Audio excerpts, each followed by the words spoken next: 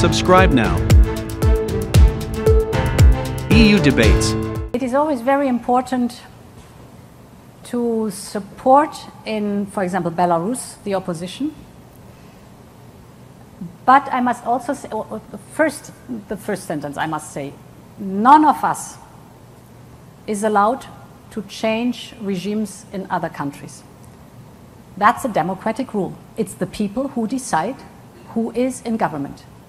Of course, I know that autocratic systems try everything to suppress this free will, to change the government at the ballot box. But uh, in the case of Russia, too, it's the Russian people in the very end who have to decide what kind of government they want or they don't want.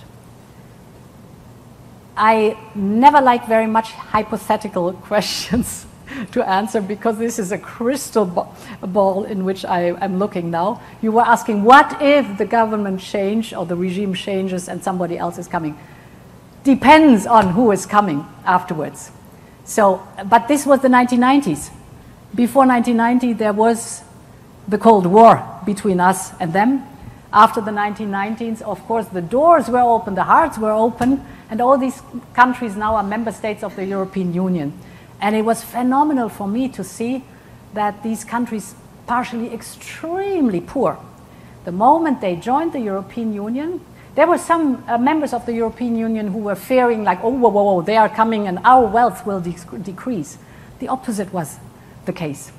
Because of the joining the, of the European Union and the single market and you know, the exchange of trade and business going back and forth, you could just watch on a daily basis how the living standard was rising and wealth and prosperity were rising.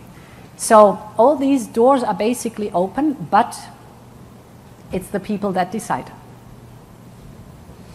Yes.